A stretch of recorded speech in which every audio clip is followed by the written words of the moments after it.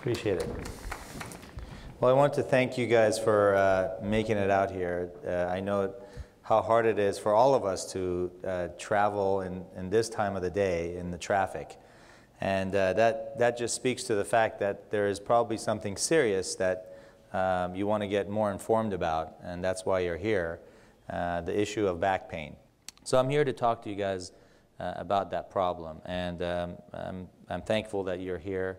Uh, and hopefully this will be uh, valuable information for you.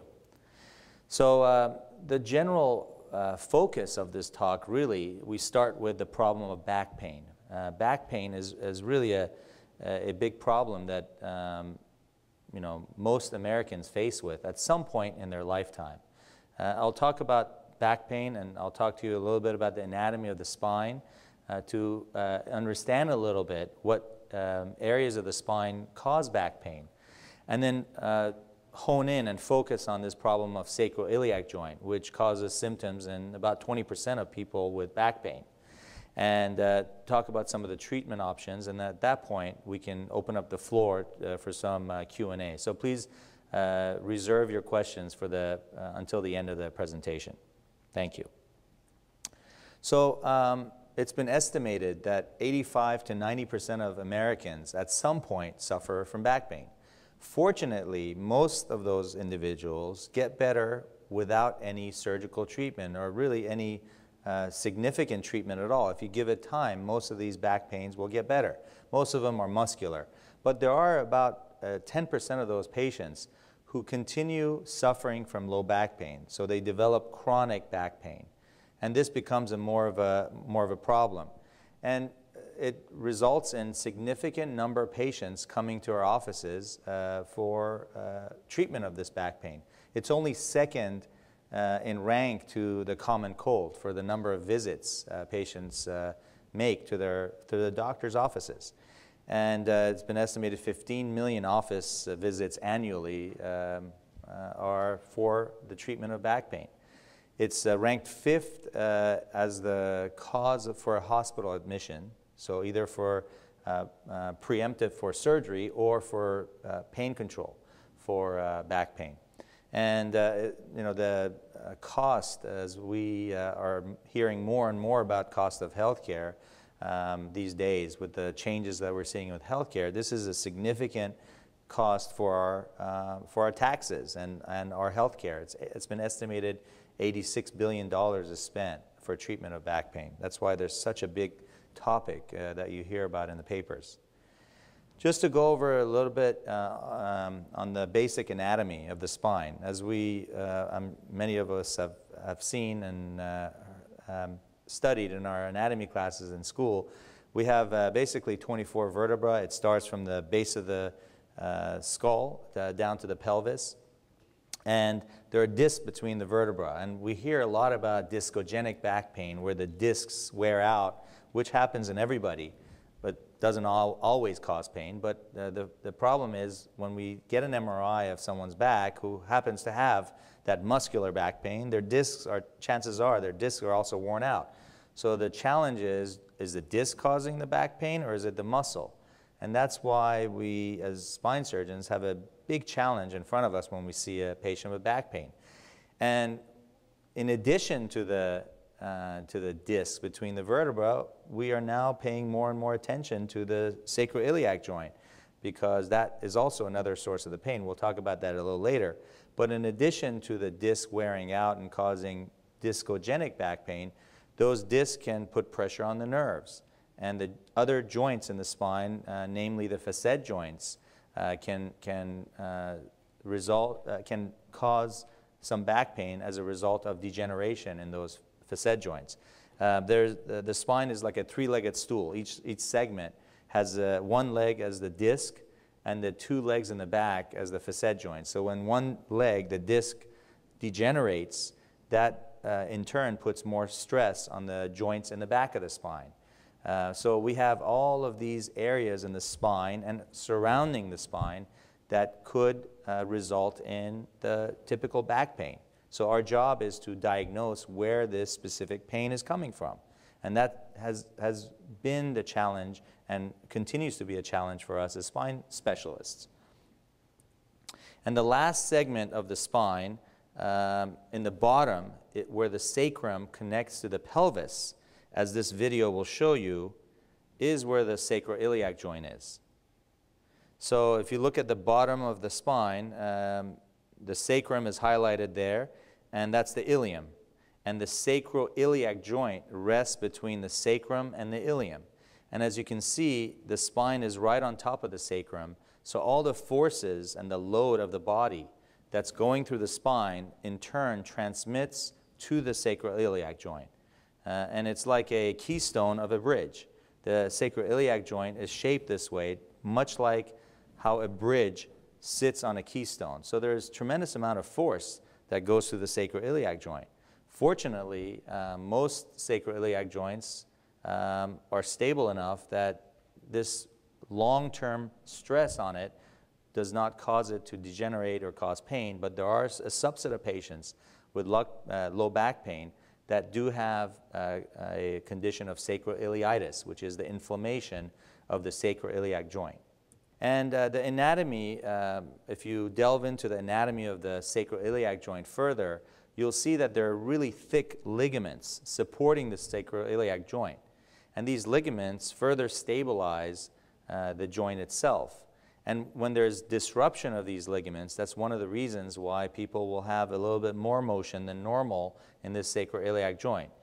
The things that cause sacroiliac joint pain, which uh, we're learning more and more about as we speak, but what we believe causes uh, pain in the sacroiliac joint is not just one thing, several things. One of those things is hypermobility in the joint. Normally, there is about a 1 to 5 degree rot rotation or motion in the sacroiliac joint. Um, more motion in females than males. But when you have too much motion, that could cause extra stress on the joints of, in the sacroiliac joint. And that extra motion, like extra motion in many other joints in the body, can cause pain. The other thing that can cause pain is if this, the joint becomes so rigid that the forces are transmitted through the joint itself and therefore there's not that gliding, the minimal gliding that distributes some of the forces. And that could possibly be another source of the pain. The other thing that could cause the pain, there could be something internal in the joint that could cause the pain, either a trauma or long-term degeneration of the joint that, that, could, that could result in the joint becoming painful. The other thing that can happen is tears in the ligaments around the joint. And as you can see here, there are really thick uh, ligaments that could cause uh, um, these types of problems that we talked about. There's also a uh, abundant innervation or um, nerve endings uh, that, that go around and, uh, and into the joint itself or the capsule of the joint. So you can imagine why um, if you have an inflammation in the joint, the surrounding tissues, once they're inflamed, can irritate those nerves and result in pain. The other thing that we see here is these nerves that cross over the sacroiliac joint ultimately will end up going um, partly down the leg, sometimes all the way down to the leg. So that's why in some cases, as, as I'll highlight later, uh, there may be some referred pain down the leg from sacroiliac joint. So if you have inflammation of the sacroiliac joint, the nerves that are innervating or going into the joint or, or the capsule of the joint may partly be also going down the leg. And the brain can't differentiate whether this nerve is being irritated at the SI, sacroiliac joint or the SI joint, or it's being irritated when it's going down the leg. So the brain will fool you and, and give you the pain sensation down the leg instead of actually in the SI joint. So there, there is some overlap of pain in the sacroiliac joint versus a uh, pain that's coming distinctly from a nerve, uh, like a disc herniation pain, that also can affect that same nerve. So there is some uh, overlap of diagnoses that we have to be careful about when we're trying to figure out where this pain is coming from. So the common, common causes of sacroiliac joint dysfunction are typically degenerative processes. You know, as we age, as we have an aging population, in fact, the baby boomers uh, are now just beginning to uh, going to go into the Medicare and 60 plus age. So we're going to have a big population, American population, who are now getting older. So all the degenerative processes that we see, including lumbar stenosis, which some of you have heard about, and the problems with the knees and the hips are going to become more and more common. Same thing with the sacroiliac joint. This joint over time may degenerate, and that may cause uh, pain and degenerative pain in this joint. There could also be a um, history of trauma that uh, was the onset of this pain. You can have a trauma and the joint, as we talked about, or the capsule, uh, the ligaments around the joint could be in injured, and that could be the onset or the start of the pain. And there may be a history of that in a patient's history.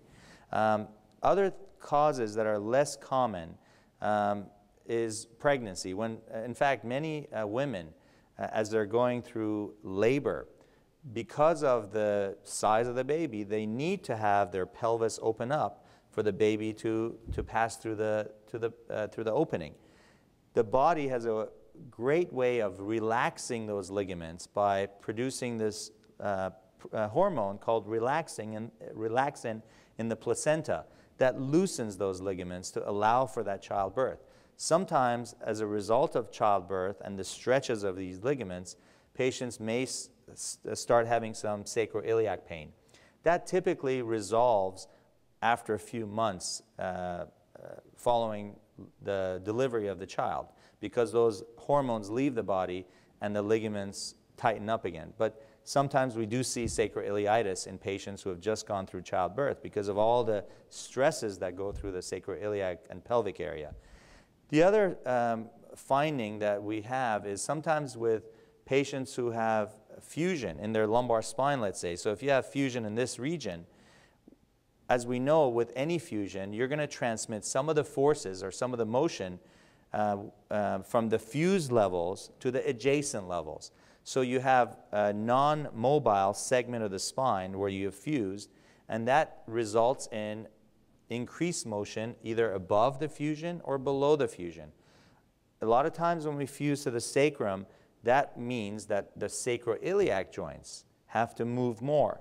When there's abnormal motion, that could cause inflammation or damage to the joints. And this is something we also see uh, as a cause of sacroiliitis. So some patients may have adjacent level disease as a result uh, of a long fusion that will give them sacroiliac pain.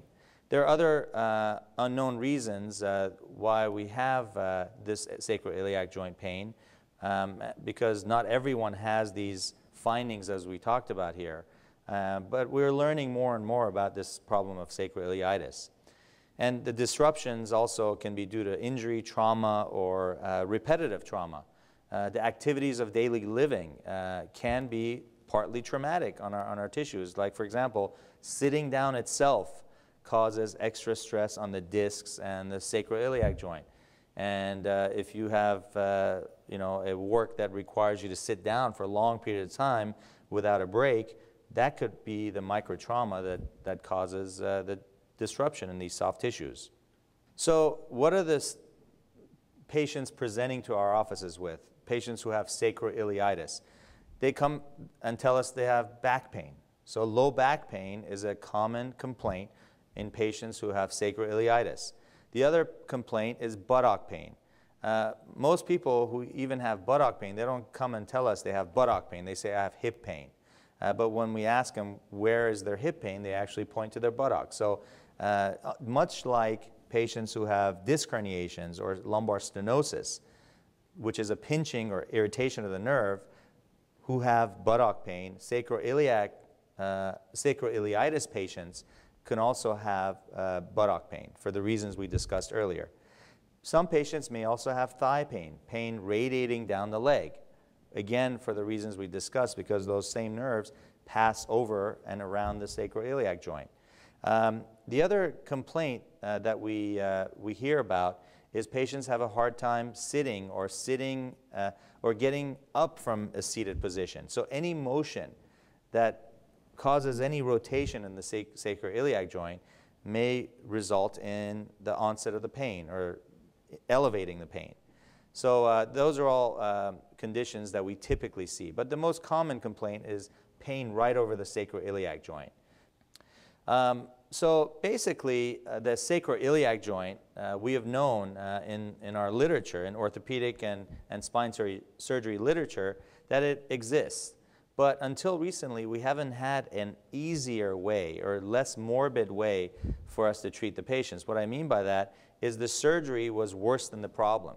And that's why this is an important uh, thing to discuss today because many surgeons still to this day are not either embracing or not aware of the new technologies that we have available to us to treat this problem of sacroiliitis. So just like myself, three years ago, who wasn't looking for this sacroiliitis, I would just tell the patient, you know what, your MRI of your lower back looks fine. I don't see any disc bulge. I don't see a reason why you should be having pain in the uh, sacroiliac area or your buttock.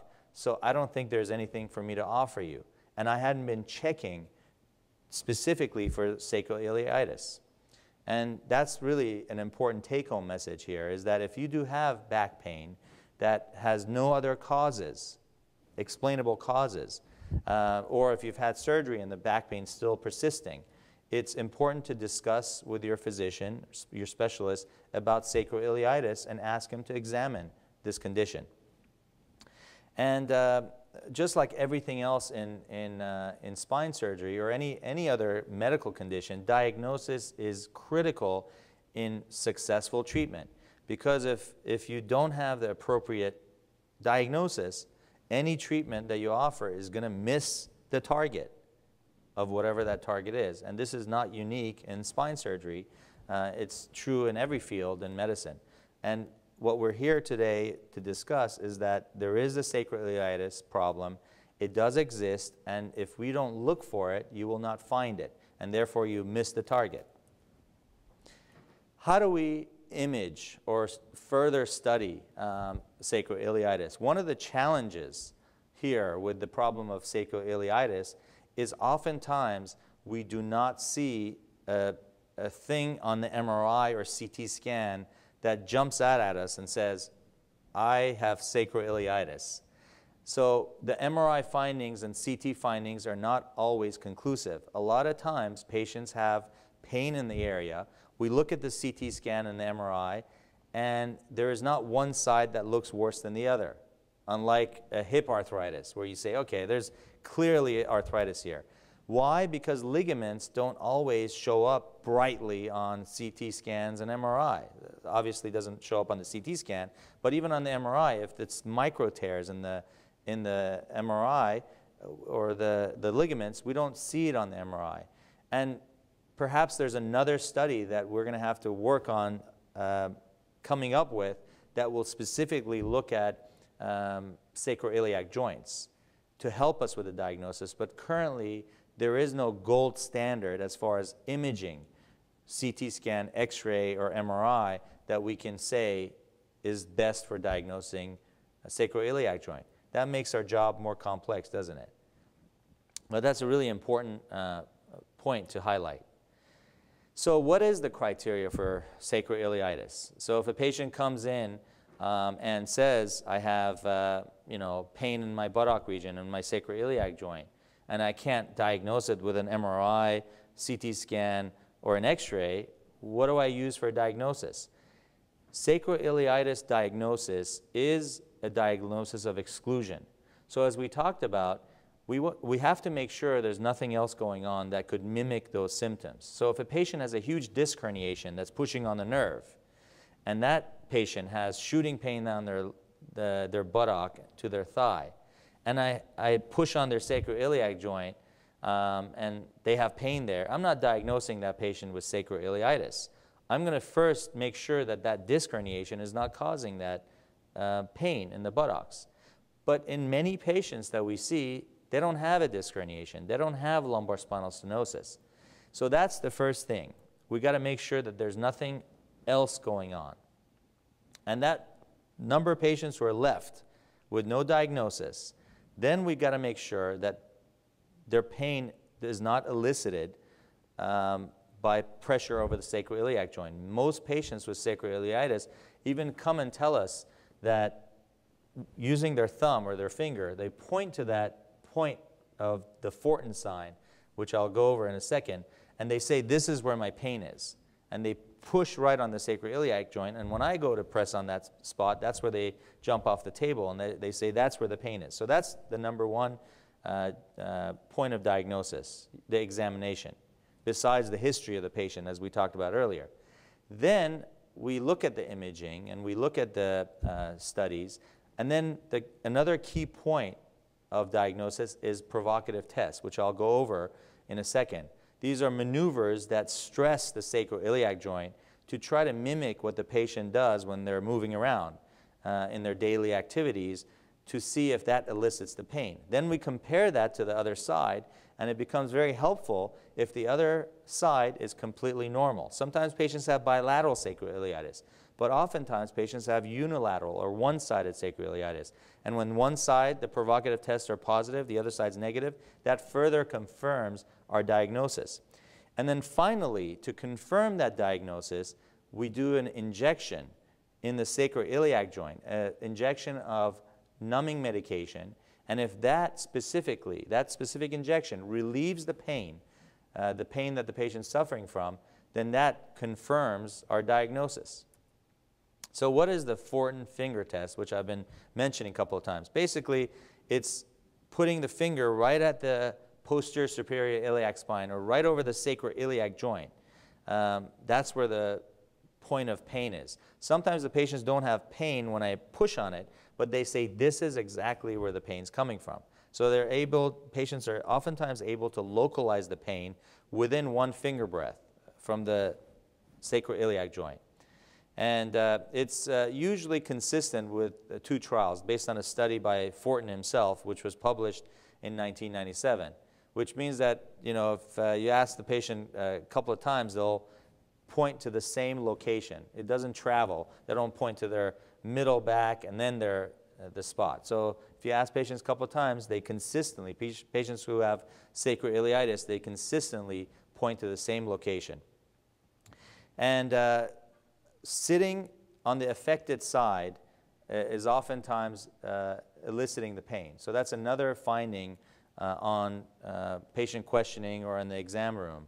Um, and, then, um, and then you also ask if a patient has uh, asymmetry, meaning that one side is painful or the other, uh, the other side is much less painful or not painful at all. A lot of times patients say they can't walk on that side where the sacroiliitis is because if you put weight on that side, as you're lifting your other leg, the contralateral or opposite side, to swing it as you're walking, you're putting a lot of stress on that sacroiliac joint. And that oftentimes causes so much pain that the patients have the sensation that their legs are giving out on them on this side of the pain as they're walking. So that's that just points to the fact that the sacroiliac joint in some patients could be so painful that even with walking they have distinct pain in that location. So once we examine the patient and ask him the question, uh, ask them the questions first, then we examine him with a Fortin sign, we go to the provocative tests, which are shown here. I will not go into too much detail, but basically the distraction, compression test, Gaenslen's, and Patrick's test all are trying to produce some motion in the sacroiliac joint, which should, in a patient with sacroiliitis, induce the pain. And that's what we're basically doing with these tests. The one that's most widely used is the Patrick's test, uh, which is shown uh, on the bottom here, where we have the patient uh, uh bend their knee on the side where the sacroiliitis is and put their ankle right above the other side knee, or right above the knee. And we we basically push on the middle part of the knee, as it's with the bent knee, and hold the pelvis with the other hand. And that pressure on the medial aspect of the knee or the middle part of the knee causes motion and rotation in the sacroiliac joint, and that typically brings on the pain um, in, the, in the symptomatic side. And that's called a Patrick's test um, or, um, or um, Faber's test. Some, some uh, doctors call it the Faber's test, F A B E R. So once we have confirmed diagnosis of sacroiliitis with our history and our examination, then the, the real confirmatory test is to, to inject that same joint, the symptomatic joint, with a numbing medication. And if that injection of the numbing medication relieves the pain, that further confirms the diagnosis. Because if the pain is coming from the hip joint or the knee joint or the spine, the injection of numbing medication in the it, joint itself should not relieve the symptoms. Uh, the, the key point here, though, is that the injection needs to be done under live x-ray. And the pain management specialists or the surgeons who do these injections uh, are very well aware that if you inject the joint without having live x-ray, you may end up in the wrong place. You have to have good visualization of where this uh, injection is going. And oftentimes we inject a, uh, a contrast that on x-ray shows that this contrast is filling up the joint before the numbing medication injected. Some, some uh, uh, uh, injectionists typically withdraw that contrast because there's not a whole lot of room in that joint after they confirm that the needle's in the joint, and then they inject the numbing medication. But that confirmatory x-ray uh, before the injection is done is, is really critical and important. So um, what is the treatment after we diagnose a patient with sacroiliitis or sacroiliac dysfunction? Um, Anti-inflammatory medications are a great first step for treatment of any uh, musculoskeletal problem because a lot of these musculoskeletal problems are causing pain because of inflammation. And non-steroidal anti-inflammatories, by definition, cause a decrease of inflammation without having the steroid, which can have bad systemic effects. So then, after the non-steroidals have been tried, um, the other things that can be done are chiropractic manipulations, physical therapy, either loosening stiff joints or tightening loose joints with physical therapy. And those, those both can be done depending on why the patient's having sacroiliitis or sacroiliac pain and dysfunction. The other thing that is very helpful is if motion is causing um, pain in the sacroiliac joint, um, you can actually put a, a pelvic belt right above the pelvic brim and tighten that belt that will secure the sacroiliac joint. And many patients find that to be very helpful. And, and with those modalities, you may never need to have further treatments like steroid injections uh, or uh, radiofrequency ablations, which, which come down further down the line if all those things haven't worked. But before uh, we go there, I wanted to show you what the sacroiliac belt looks like. So this is basically a belt that uh, patients wear right below the top of the pelvis. And that belt secures the sacroiliac joint so there's no significant motion in that joint. And that's basically bracing the sacroiliac joint and oftentimes relieve some discomfort that patients have from this uh, abnormal motion. So the goal is to basically decrease the joint mobility. Physical therapy, uh, you know, the lumbar stabilization program, strengthening abdominals and buttock muscles, improving flexibility in the lower extremity and musculature, and the low back uh, stretches are used. And the goal for the physical therapy is to basically decrease mobility in patients who have abnormal motion, which is most commonly the reason why people have sacroiliitis, or uh, mobilize uh, the joints that are so stiffened uh, and causing pain. And then finally, the sacroiliac injections, as we talked about, uh, can be tried if everything else has failed, uh, and also for confirming the diagnosis. Uh, and at this point, the, not only numbing medications can be injected, but corticosteroids, which are steroidal anti-inflammatories, because steroids also decrease inflammation and are much more powerful than NSAIDs or non-steroidal anti-inflammatory, can be directly injected in the joint and hopefully that will relieve some of the inflammation that's, that's causing the pain. But the important thing is that steroid injection is typically short-lived because if there's abnormal motion in that joint, that steroid does not slow down the motion. It, the motion, abnormal motion continues, but the steroids have temporarily reduced the pain. There are some patients who we just need to break this cycle in because there's inflammation and a little bit motion causes more inflammation. So if we, with steroids, we cut down the inflammation to a lower degree, that little motion that's causing the elevation of this uh, inflammation does not happen and they can get relief with the steroids. In a subset of patients, that happens. And then finally, the non-surgical, uh, the, the last uh, non-surgical modality or treatment that can work is to, uh, for lack of better uh, term, burn the nerve endings that are feeding the capsule and the joint. And this is called radiofrequency ablation. This is done by typically with an ultrasound uh, probe that is inserted in the joint itself. And this, this probe then, in turn, with the, with the heat uh, of whatever uh, form of heat that's delivered in the joint, causes a, a ablation or burning of the nerve endings. So because these nerve endings don't uh, offer any uh, true function uh, for the joint, they do not go to the muscles that help you walk, uh, and they're purely sensory nerves, um, then burning the nerves is not going to cause a dysfunction, but it's going to give you pain relief um, because these nerve endings are no longer there where there's significant inflammation and irritation of these nerves. So that's the final uh, non-surgical treatment. There's still some patients who don't get better from these treatments. So what is this surgery that we're talking about? So once everything else fails and the patients have significant sacroiliac joint pain that's not getting better with all the other things we talked about, then there's got to be a way to stabilize that joint. If the, you know, if, uh, if the patient is having pain with all the things we talked about and this joint is causing tremendous amount of pain uh, because of this abnormal motion, the nice thing is now we have a way to fuse that joint with these uh, rods called the iFuse implant system where we are putting these uh, um, triangular shape rods and inserting it percutaneously, meaning with a small incision on the lateral buttocks over guide wires under live x-ray through the joint.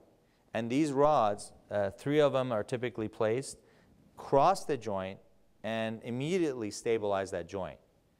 Uh, there's, a, there's a process that we go through to, to place these pins in the right place under live x-ray. Then we drill over these pins and then we put this thing called a broach that creates a triangular shape hole in the sacroiliac joint and in the ilium and the sacrum.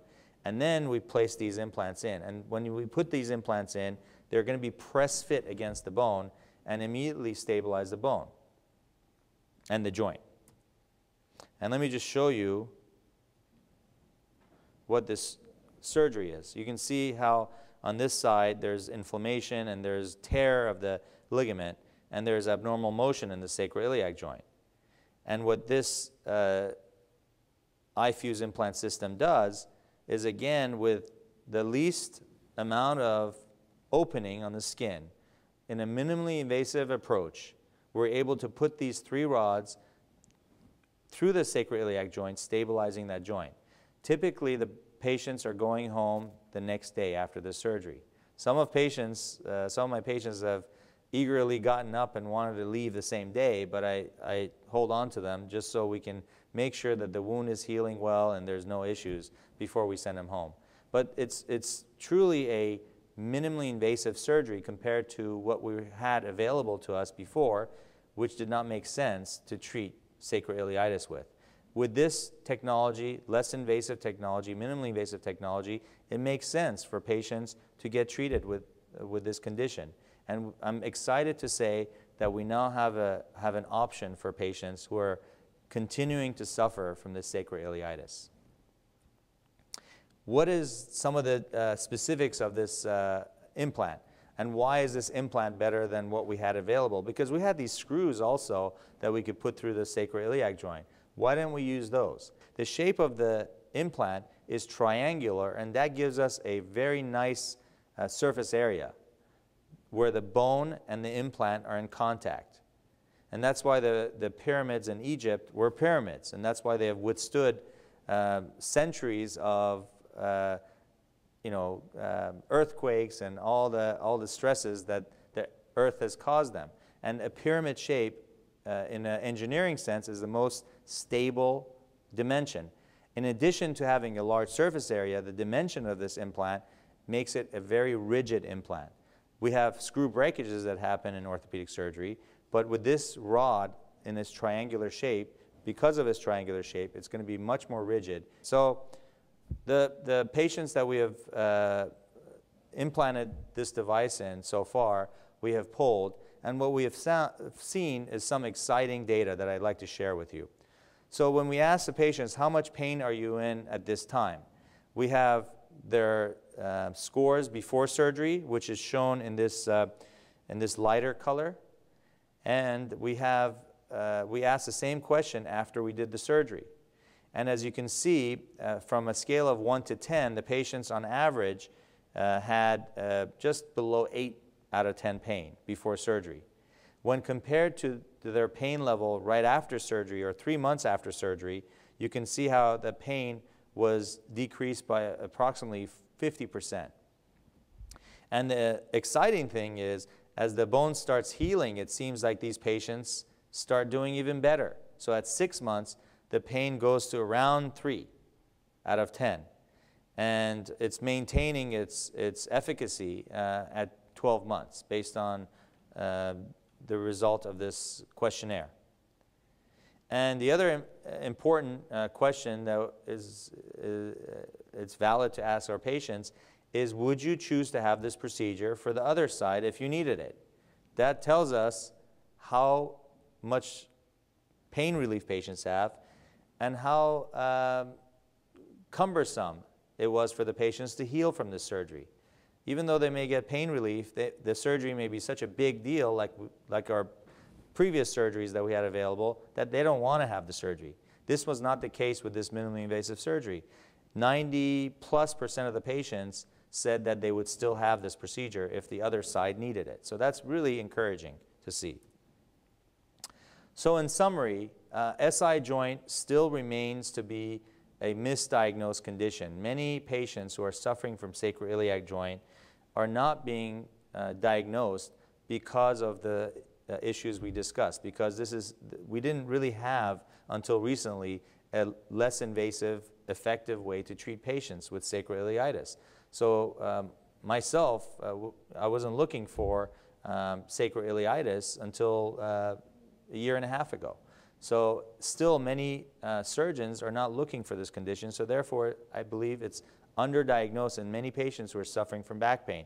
And as we talked about, 20% of patients, literature shows, who are suffering from low back pain are having sacroiliitis, either in addition or by itself, causing this low back pain that the patient's uh, having, having uh, experienced. So what are the treatment goals when the sacroiliac joint is diagnosed? Uh, is to reduce the symptoms, and if the non-surgical treatments uh, have not worked, then we stabilize the joint. Um, and uh, that, that is an option that's available to us now. I appreciate your, uh, your time and your attention, and I hope uh, that this has given you uh, some information about this um, poorly diagnosed condition, and I hope that we can, we can increase our knowledge uh, um, as, as treaters and also as patients about this condition. If on those charts, oh, on the charts that you showed where six and 12 months after the pain was 50% less, my question is if it was properly diagnosed, the joint is stabilized, why is there, why is there zero, not zero pain? What is causing the pain? After six to 12 months? That's a great question. And I think um, um, getting back to the chart, is 50% relief in pain significant? The answer is in our medical literature, where we have strict criteria for success, that would be considered as success. But you're right. Um, why is the pain not zero? Well, the reason is most of these patients with this type of a problem have arthritis in other joints in the area. So uh, I always tell patients with, with spinal conditions that I'm going to focus my treatment on the worst level where I think most of your pain is coming from. And uh, if, uh, if you have this surgery, you may still continue having some pain. And uh, the, the most significant pain is what we typically target. And I always tell patients, I can't make you 15, 20 again. because there are other joints in the body that are going to be arthritic. But, uh, but uh, that is the reason why I think the pain is not zero, is because there are other conditions that patients complain of, even after their sacroiliac joint pain is relieved with surgery. The other point to consider is that this is only a mean. So there are some patients who get zero pain or one out of 10 pain, and there are some patients who have seven uh, or eight uh, out of 10 pain uh, after surgery. So, uh, but in, on average, we have been able to diminish the pain to a 50% level, which is quite significant.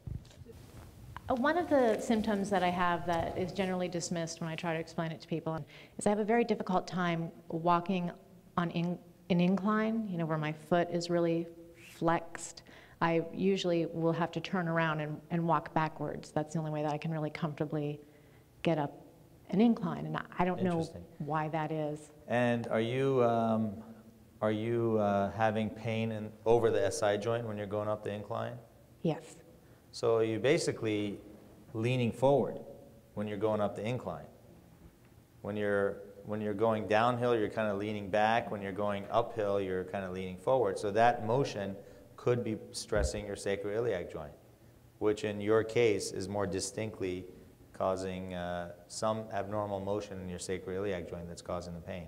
and so that would be similar also like walking on sand or unlevel ground. Any of that lack of stability that would probably also indicate If, that? as a, as a, as a uh, um, fulcrum of your, of your weight uh, and the, the keystone of, of your body's weight, that joint could be stressed in anything that you do, um, especially being upright. And if you have an inflamed sacroiliac joint, all of those things could irritate it. Um, whether you're going uphill or downhill or you're putting more weight on that side, uh, those can all go along with the diagnosis of sacroiliitis. Okay. Thank you very much for your attention. Um, and, uh, you know, so please help yourselves to the refreshments that we didn't really uh, delve into that much. Thank you.